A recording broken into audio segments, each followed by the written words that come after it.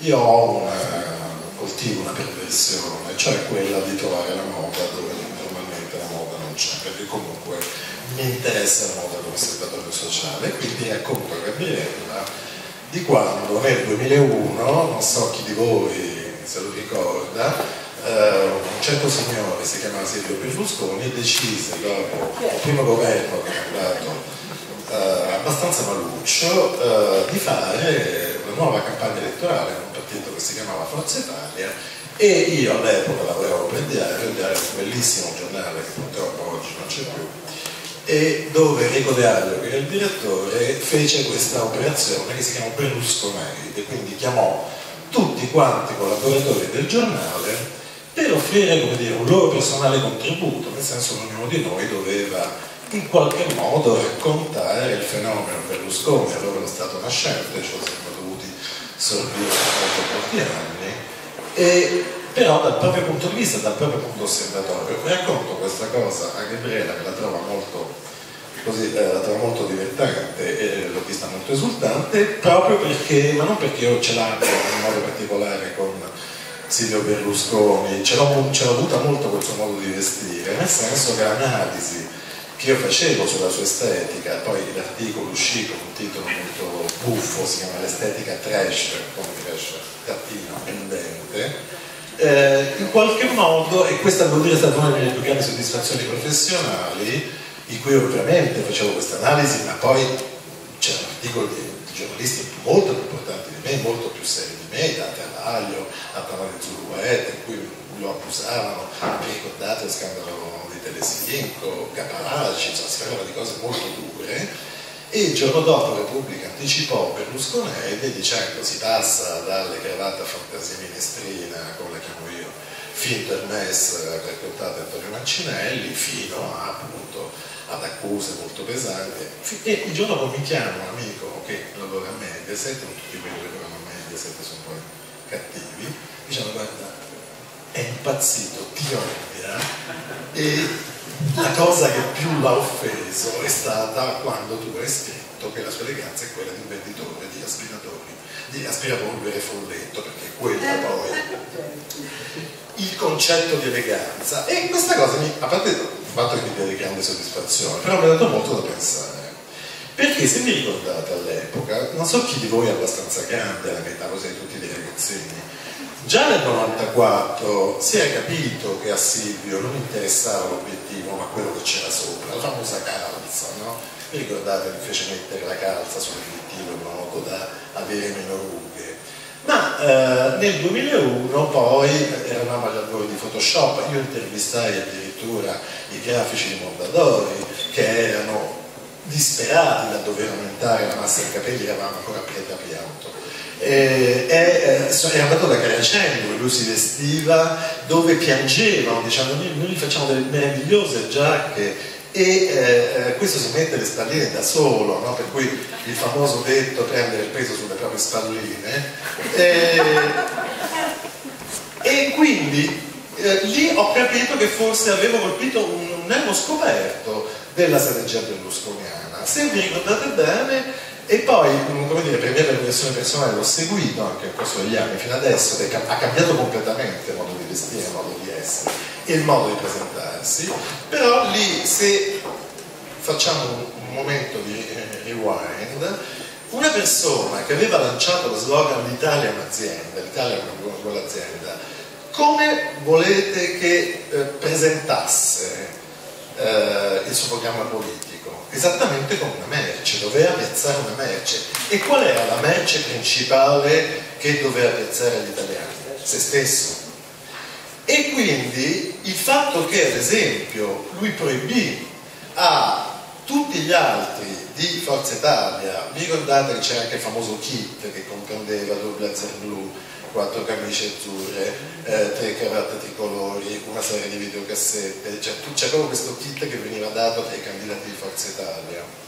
E il fatto stesso che, eh, come dire, nella pubblicità, no? nel, nel, dover vendere un prodotto, in questo caso se stessi, si offre al proprio lato, si offre al lato migliore, si offre quello che viene considerato l'aspetto più appealing, eh, l'aspetto più in qualche modo così accattivante che induca in tentazione, ha fatto sì che lui sia stato veramente uno spartiacque nella classe dei potenti a considerare, questo è stato geniale, l'apparenza come parte fondamentale della sua strategia politica. Tant'è vero che fino ad allora, se voi pensate alla classe politica, soprattutto a voi viene in mente, come venuto in mente a me, un'ininterrotta serie di neri, di grigi, no, di neri, di blu, di grigi, cioè l'aspirazione, so, penso alla grande democrazia cristiana, era quella di sostanzialmente neanche di essere eleganti ma di passare inosservati, di essere visibilmente composti, anche per compiere naturalmente notevoli malefatte, ma quello che capì che veramente era molto importante l'apparire piuttosto che l'essere, cioè la vendita dell'apparenza fu sicuramente lui. Anche perché io poi trovai delle altre fonti, cioè delle altre fonti, no? quello che metteva le ragazze nelle scarpe, c'era comunque un atteggiamento assolutamente di packaging di se stesso e di chi lo seguiva che eh, poi in qualche modo fu confortato anche se posso leggere una, una citazione Uh, non so se voi conoscete uno dei più grandi pubblicitari che c'è stato nel mondo, adesso credo sia in pensione, si chiama Jacques Seguela, è quello che aveva inventato lo slogan La force tranquille per Mitterrand, e Seguela dice, cosa, cosa credete? L'atto elettorale è un atto di consumo come un altro, è più mediatico, ma obbedisce alle stesse regole. La sola differenza è che acquistate il prodotto per 4-5 anni, che non potete restituire fabbricante in caso di insoddisfazione e che decide lui per il vostro avvenire e per quello dei vostri figli. Eppure tutte riassunte uno slogan, esattamente come quando si lancia un detersivo o un'automobile. E pensate alla sublime banalità dello slogan Forza Italia, che fino allora apparteneva alle squadre di calcio,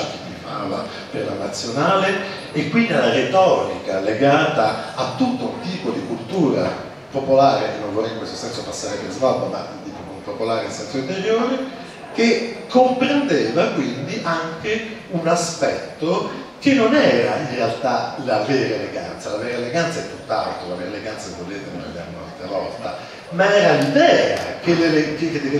l'eleganza ha la signora o il signore medio o medio-basso e quindi il tipo di elettori a cui lui voleva puntare a cui e a cui lui voleva vendersi. E ci sono altre due immagini, non so se vi ricordate, qua perché abbiamo parlato di quando lavora e quando no. Eh, C'è un'immagine che forse vi ricordate, che è abbastanza inquietante, in cui lui fa jogging con tutti i suoi prodi seguaci per i giardini in Sardegna, tutti vestiti di bianco, eh, tutti quanti vestiti con i calzoncini, t-shirt eh, assolutamente perfetti, un po' soldateschi, un po' minacciosi come diceva prima eh, giustamente guerriero. E poi c'è invece un altro momento altissimo, qui siamo già più verso la seconda fase del, dell'immagine berlusconiana della famosa vacanza in Sardegna quando lo raggiunge il suo amichetto di sempre, Vladimir Putin eh, in quel momento lui arriva con eh, no, la bandana quando era andato con Tony Blair. E in quel momento c'è uno scontro di titani perché eh, lui esibisce eh, delle bermude improbabili, delle camicie maniche corte con le spalline Vladimir Putin con cinture, con dei cinturoni eh, simili Versace con dorato, quindi con una sorta di esibizione di se stessi che in qualche modo rappresenta però anche un modello aspirazionale. E attenzione, tutto questo non riguarda solo lui, ma ovviamente riguarda anche chi ha condiviso il suo credo politico, il suo piano politico, per cui penso anche alle donne del suo partito. E, eh, e, penso anche alle donne che ad esempio hanno costellato l'impero Mediaset. Da un lato le ragazze come dire facili e quindi scosciate e quindi un po' nude e quindi tentatrici. Poi ci riunisce tutte e due cioè la Sant'Anché e dall'altro le signore serie no? per cui Maria De Filippi che si vestiva Armani un tempo, comunque le, uh, le giornaliste del, del TG5, quindi tutte molto composte, tutte in giacca, tant'è vero che in uno dei decaloghi che lui manda uh, a tutti i suoi dipendenti c'è la proibizione assoluta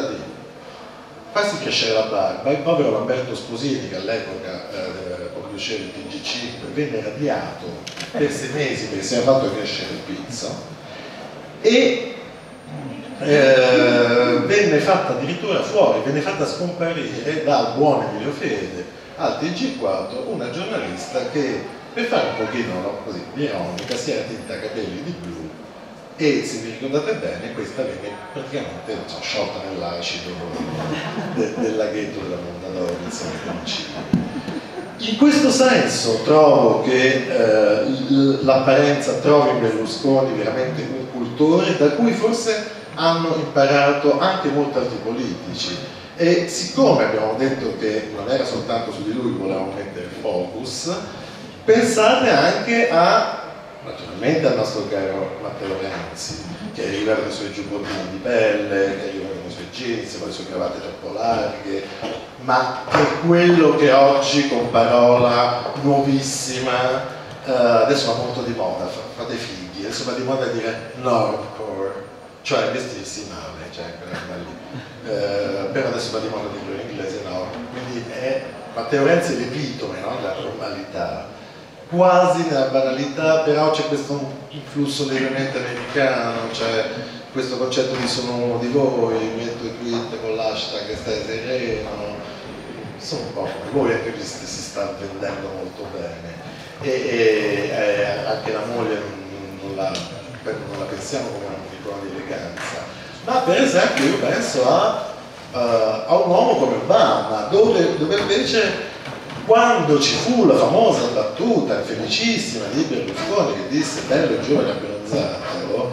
c'era proprio un'invidia pazzesca, lì c'era un atto di sottomissione fisica, cioè laddove Berlusconi cercava di ottenere consenso attraverso la sua immagine e l'immagine dire, contagiava tutti coloro che facevano parte di Forza Italia, altrettanto fa Obama ma in maniera assolutamente diversa. C'è una famosa foto di Obama in cui fa ginnastica e si tira su soltanto con la forza delle braccia, una cosa che non riuscirei mai a fare, ma che dimostra che lui invece punti sul corpo e su un corpo tonico, sul corpo che induce, se non timore, sicuramente rispetto, diciamo però figo, cioè questo. E la signora Michelle, che secondo me è ancora più intelligente di lui, ha fatto del suo abbigliamento un'esperienza politica estremamente forte, tanto è vero che tutti i giornali del mondo hanno parlato del fatto che non soltanto lei abbia scelto nel corso degli anni tutti i vestiti che oggi chiameremo low cost, comunque se non, se non diciamo da poveri, sicuramente abbordabili da quasi tutte le donne, quindi qual è il sottotesto? Eh? Anch'io sono di voi, guardate come mi sta bene, potete comprarlo. Alcuni modelli sono addirittura andati esauriti, perché li aveva portati, eh, li Michelle Obama, ma addirittura ha indossato in due occasioni ufficiali diverse lo stesso vestito, esattamente come farebbe ciascuno di voi quando ha un abito elegante e dice eh, quello non vedo perché devo cambiare ogni occasione ufficiale un vestito, ma che ogni matrimonio mi faccio un vestito nuovo. In tutto questo è l'apparenza quella che conta nel momento in cui c'è da ottenere un tipo di consenso. E parlavo a Gabriella anche di quando eh, facevano, posso continuare? Sì, lo sto sforando mostruosamente. Di quando il buon Enrico Reaglio, posso raccontarlo? 5 minuti, vado velocissimo, di quando il buon Enrico De Aglio, che è sempre stato molto attento a questi fenomeni, mi chiese un pezzo di moda sul G8 Giorgio quello che ha fatto Giuliani. Ovviamente la reazione istintiva è stata no, fare, mi fa stare troppo male, cioè trovo insensato eh, fare un pezzo di estetica di moda su un, un momento così tragico della storia italiana e in generale mondiale. E invece poi Enrico aveva avuto questa illuminazione perché non arrivate in redazione le foto del Black Bloc e queste foto erano stranamente inquietantemente e bizzarramente bellissimo. Sembravano scattati da un fotografo professionista, questi black block vestiti tutti di nero, con il volto coperto, avevano qualcosa quasi di Lenny Riefenstahl, quasi di queste pose plastiche mentre lanciavano le bombe, e quindi Enrico, e anche a me una volta che l'avevo vista, era sembrato strano che fossero degli scatti casuali fatti durante una manifestazione così violenta, dove erano successe delle cose così violente, mentre queste persone compivano atti violenti, di vandalismo e così via. Dall'altra parte c'era, non so se vi ricordate, anche tutta una nuova no, divisa per i poliziotti, il famoso Robocop, quello che poi eh, picchiò, avevano uh, delle divise che erano, somigliavano a quelle dei giocatori di rugby e così via. Cosa era successo? Vi ricordate c'erano anche le tute bianche che andavano in giro appunto con le bianche, come parli delle mani dipinte. Cosa era successo? Facendo appunto il mio lavoro, cioè quello del giornalista, ma anche un po' del topolino che va a chiedere le cose, eh, ho telefonato al Ministero degli Interni che mi dice sì sì, voi non lo sapete, ma avete pagato, all'epoca c'erano ancora, che dire, eh, abbiamo pagato qualcosa come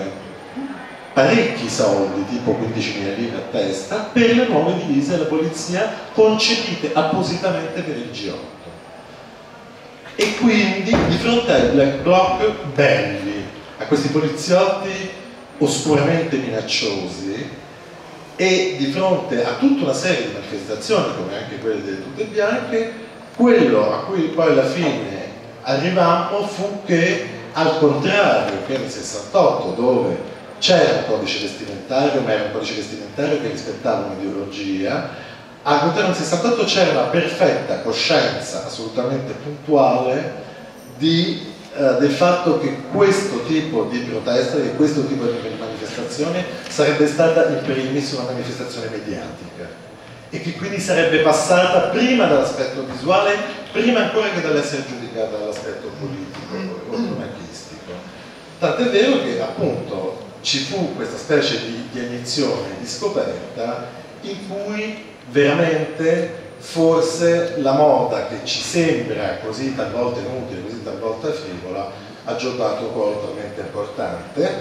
talmente importante che, e a questo punto vorrei far contento il buon amico Guerriero, vorrei chiudere con una citazione è tratta da un libro che non ho letto. Vorrei chiudere con questa citazione che potrebbe andare bene per tutti gli uomini potenti di oggi, che dice è un errore considerare puramente politico quello che noi facciamo. Sapete chi l'ha scritta? Adolf Hitler in Mein. Ciao.